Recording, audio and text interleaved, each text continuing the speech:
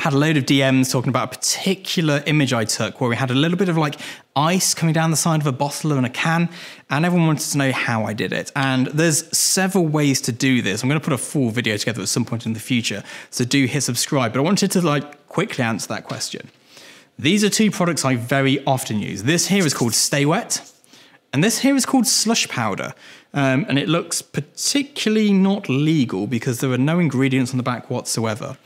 Now, dressing a can in a bottle is quite a complicated process, requiring lots of different things. If you want to see a full video on that, let me know in the comments below, and I'll try and do one for you. And with all of these things, there's a few secret recipes that I won't share because, well, they're secret and it took me a long time to work out. Nevertheless, this stuff here, you mix it with a tiny droplet of water, and it kind of forms snow.